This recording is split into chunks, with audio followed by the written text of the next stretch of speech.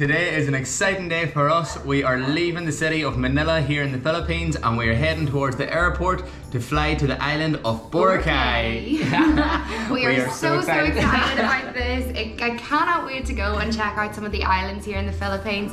But we have a massive day ahead of us, Yeah. so we really need to get going. So let's bounce.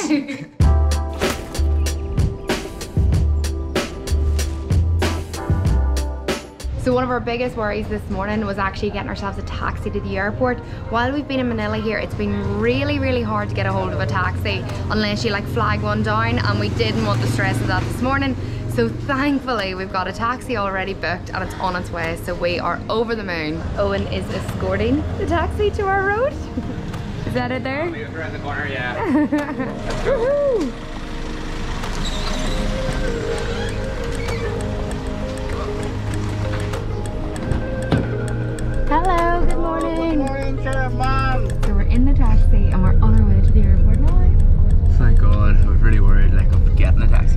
so all going really well. So the day is off to a good positive start. Yay!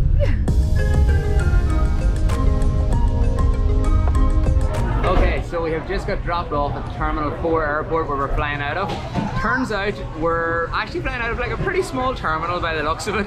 We thought we were going to like the main Manila airport, which is a big international airport. We'd get like breakfast and stuff there. But yeah, this is a pretty small looking airport. It was like quite a wee bit away from the main airport and it is pretty manic as well. There's a lot of people, a lot of stress going around by the fields of it. And yeah, I don't know how this is gonna go, but interesting anyway. So this is the woman's queue and that's the one over there. So you'll have to wait for me. We made it. Yes. Yes. And yes. And confirm.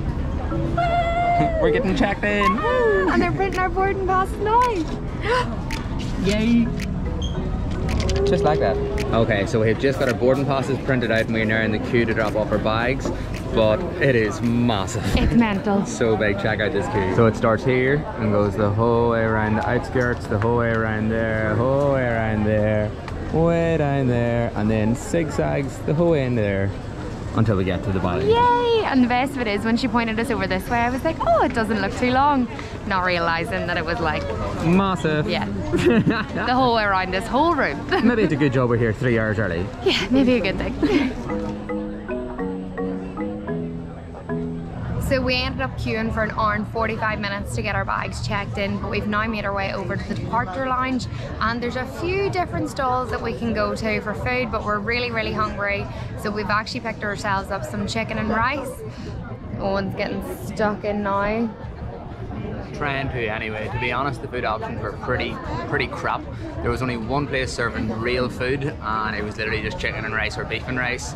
So we're here. It's a full like one-room situation in the airport. The departure gate's there, the food stalls are there, and the waiting lounge is here in the middle. So yeah, just gonna have a wee bit of food, then depart for, or then get on our plane. We think it's like an hour, maybe an hour and a half of a plane journey.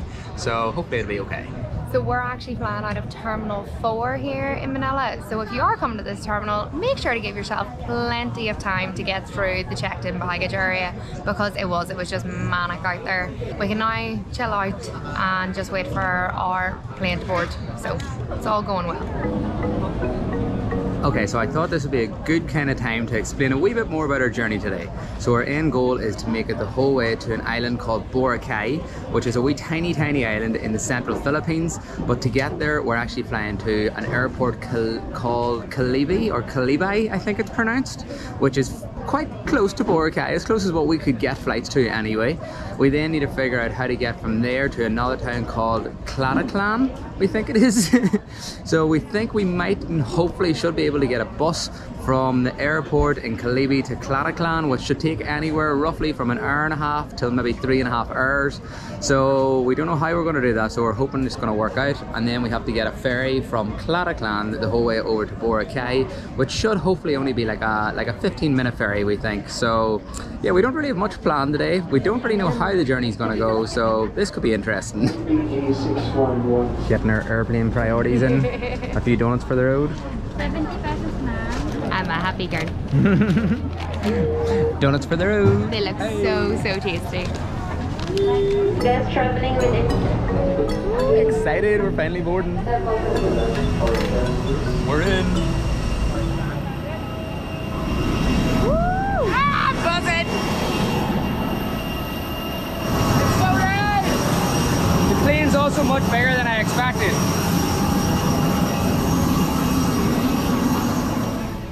We're very excited. Next up, 4K.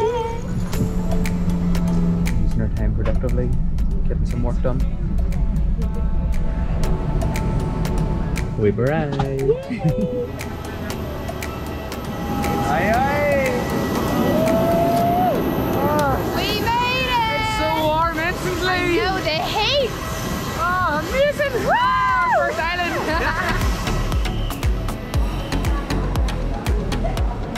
Take me to my destination. Making myself comfortable while we wait for our bags. Bag number one. Hey, number Bag number two. Hey! Bag number Bag two. I have to get up from my very comfortable trolley and make a make a move. So the flight only lasted about 55 minutes. There was a little bit of turbulence while we were in the air, but nothing too serious. We're off, we've got our bags, and the next step is trying to figure out how we're gonna get to Boracay itself. But I'm sure it's not gonna be that difficult. There's a lot of people around, so let's hope that bus is running. Philippine Airlines passengers, contact the Airlines You want to sit into the front? I'll sit in here and hold the bags. okay. Ah, okay. Thank you. So getting the bus didn't really work out. There was no coaches or nothing at the airport that we were kind of expecting. We read online they kind of be at the airport waiting for like planes to come in to take people to Caticlan to then go on to Boracay Island. But we've managed to get a tricycle here to take us away to the bus station and we're hoping we can then get a local bus from the bus station the whole way to Caticlan. So yeah, this is a bit of an interesting ride.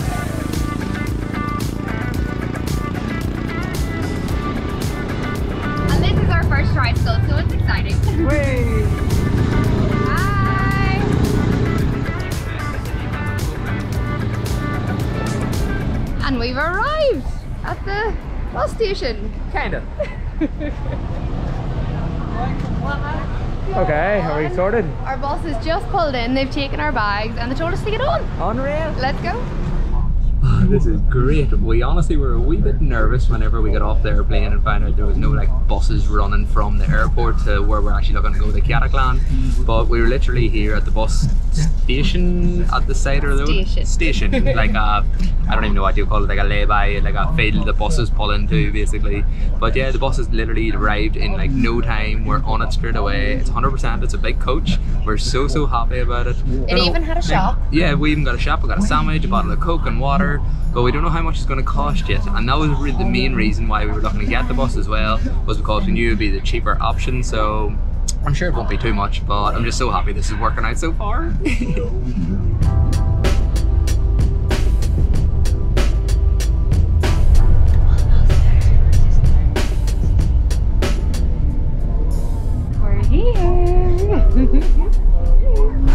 I'm so glad to be getting off this bus. I am yet again dying to pee.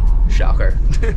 So we're actually at the Caticlan jetty port right now, but we actually were supposed to go to the Tabon port, which is only a five minute tricycle ride away from here. So we're gonna hop on a tricycle now, head over there and hopefully get a boat from there over to Boracay. But yeah, I think this one's only like a big ferry port. I'm not really too sure, but we're gonna head over there now anyway. Very heavy.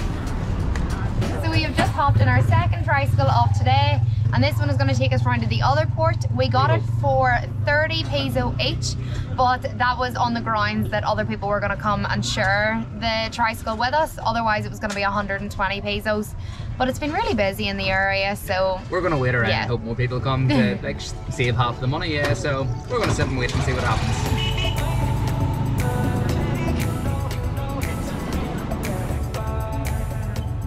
Okay, so this has turned out to be a bit more of a task than we thought. We just had to massively overpay for our tricycle because we were waiting around and waiting around looking for other people to come and nobody came. We ended up paying 100 pesos in the end for the two of us. Whenever there was a sheet at the very front of the tricycle stating the route we were doing and it should have been 20 pesos each, but we just had to pay to get here. So we're here now, and now we're going to try to figure out can we get the boat. And we know we also have to pay an environmental fee, a ferry fee, and uh, something else fee, maybe a tourist tax or something as well, to get to Boracay, but we'll get there today at some stage.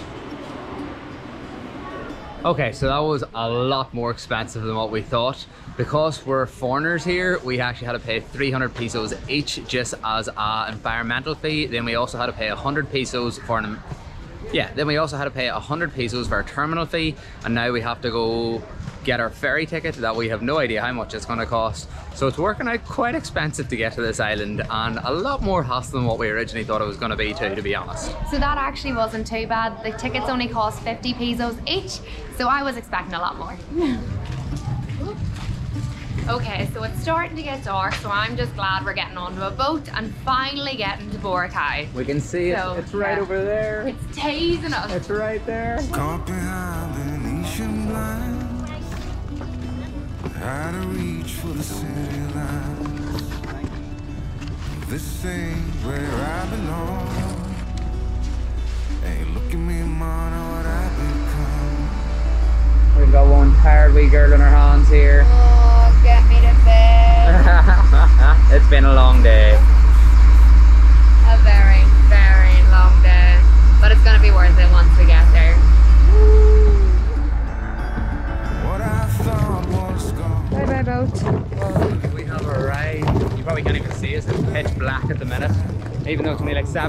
So maybe we'll pick this up whenever we get to our accommodation and we've actually got some light. Okay, so hopefully this is the last tricycle of the day and we are going home and we will definitely pick up the inn. Finally, we have arrived here at our accommodation in Boracay. we have got here and we are so so happy to be here. Yeah. Today has actually been really really easy, really smooth, and Yeah. the transport has actually been really really Pretty good, as well. Definitely, pretty good. Yeah, we've honestly had a really, really smooth and easy day, but we're just so happy to finally be here and be going to bed because we are just Wrecked. Yeah. Yeah, we're we're wrecked to be honest. But our like toot or gonna toot toot driver, but they're called tricycles here basically, which is their mode of transport. Um, our tricycle driver took us from the pier to our accommodation and gave us a full tour of the island basically as we You were may doing as it. well have been a tour guide. Yeah, definitely, because we're staying at the top end of the island, so we had to get like a half an hour ride the whole way through the island. So he gave us a great tour, and we know what we're doing tomorrow pretty much already because of that. So that was a great way to get started basically in the island, yeah. So we're going to leave this video here and call it a night because we are just wrecked. But we just wanted to say a massive thank you to absolutely everybody who's come on board with the channel recently, who's subscribed to us, who's been liking and commenting our videos. We really really appreciate Yeah, it. Like so thank much. you so so much. Yeah, we really definitely. do mean it. Yeah, honestly, it's, it's just been amazing. So thank you so much. But yeah, we would love it if you enjoyed this video to hit the like button again, subscribe to the channel if you haven't already, and hopefully you will join us for the rest of our adventures here in Boracay and the rest of the Philippines. See you ya. later.